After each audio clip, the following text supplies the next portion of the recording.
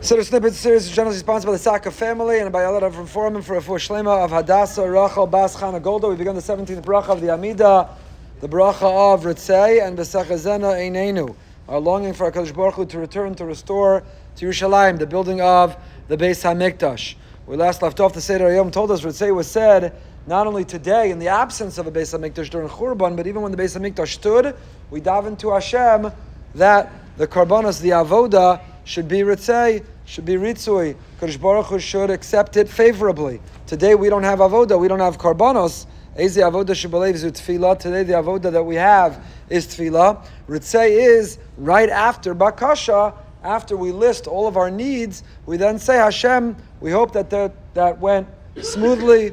We hope that you're favorable. We hope that you'll answer in a positive in a positive sense. Rabbi Yonasan Eibshitz is quoted by all the Sfarim on Siddur. Nizyaros Dvash, Rabbi Yonasan uh, comments on this Ritzei, the first of the last three brachas of the Amida of Hodah. And Rabbi Yonasan writes the following: Yimsor nafshal avodas Hashem v'yala belibo kilu nekar agabe hamizbeach ve'esh hamizbeach yukad bo v'rehug ola kalil lashem. When one says Ritzei, they should think not only about the restoration of the avoda of the service in the Beis Hamikdash, but we should see ourselves and our lives as the ultimate avoda to sacrifice, to serve Hashem. That's Ritzei. Hashem, let my service of you, let my life, let my mission, let my purpose, let my lifestyle, I dedicate it, I devote it all to you, to the point that we're willing to pay the ultimate sacrifice. V'yisave, it's a very difficult lashon, a very difficult language. Yisave ma'od she'yaharig al kiddush Hashem, shu ola kulo kalil Hashem. To the point says Rabbi Yonasan the person should daven, they have the merit to be most of their nefesh to Hashem. Now, I don't, I don't think he means literally. Lo amesim yalaluka. We don't value or celebrate death. We, the Jewish people, the Torah teaches. We preserve, we fight for, we protect, we secure life. We don't glorify death. We don't long for death. We certainly don't daven for death. Yet, Yet in Shema we say every day a willingness to devote to Hashem b'chol levavcha, b'chol nafshecha, b'chol ma'odecha. B'chol nafshecha, the Gemara says means person says Hashem, I'm willing to give you my resources. I want to devote it all. I'll give my life. I'll give my life for you. The Baal HaTanya writes. The Tanya says the simplest Jew, unsophisticated, uneducated, non-observant, the simplest Jew, push comes to shove in that moment, pressed into a corner, back against a wall the simplest Jew would give their life for being a Jew, for Hashem. We saw it throughout our history. Would be Moser Nefesh. Simplest Jew writes the Baal HaTanya. Not the most learned, not the most pious, not the most observant. Simplest Jew has in our kishkas a willingness to be Moser Nefesh. B'chol Nafshecha. That's what Rabbi Akiva said on his lips when he gave his life. All my life I waited. I didn't know how would I fulfill those words, and now I can. So Rabbi Yonasan is not writing, God forbid a person should daven or long for, but as we're seeing now, so sadly and so tragically, how many soldiers have been Moser Nefesh, have paid the ultimate price. They didn't long, they didn't want, they tried to avoid at all costs, but a willingness in the service of Hashem and of His people.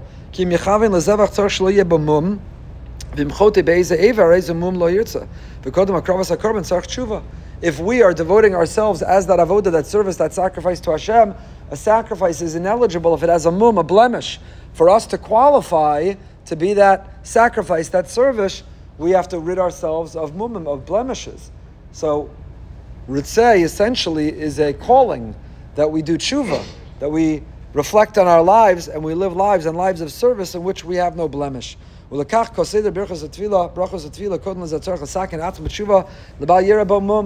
Ritzei is our effort that we not find within ourselves any mum, any blemish. And listen to how he concludes. He writes, in Ritzei, daven hard, shetachzor ha'avoda lemkoma, Beis Hamikdash will be rebuilt, Yerushalayim, go to the Kotel, you should look up and see something else there and say, what's it doing there? They're occupiers. They're occupying our mountain. They're occupying our holy space. It doesn't belong. Person should be in pain, should be in pain. We're longing, we're davening, we're waiting. I once had the schus, when I was learning in Eretz Yisrael and Kollel, to pick up Moriv Rabbi Rav Schachter. He's coming next Shabbos and uh, to go around with him when he was giving shiurim. So when I first picked him up, I saw him. I, he had come from the kotel, and I said, Rebbe, how, how was it? And he said, you know, this peculiar thing happened. I said, what was that? He said, I, I tore Kriya, and I looked up, and there's still no base on HaMikdash. There's a mosque where the Makom HaMikdash should be. He said, so I started crying. How could it be? I thought this time it would be different. He said, when I opened my eyes, there was a crowd around me pointing and saying, look, there's a Jew who still cries That doesn't. So he looked at me and he said, Ephraim, does, doesn't everybody cry when they look up and see that there's a mosque and not the base on Hamikdash? To which, of course, I said, yeah, sure, everybody, everybody cries. That's the, of course, that's the natural reaction. Everybody does, Rebbe. I don't know what's the matter with those people. So there still are Jews. There still are Jews that look up, and we should be among those Jews. Ritzei is our tefillah, our prayer that we qualify, we count. We be among those Jews that we look up and we say, what? That's not what's supposed to be here. Someone's occupying our home, our land, our mountain, our mikdash. Kisham nasa tikun olamim. How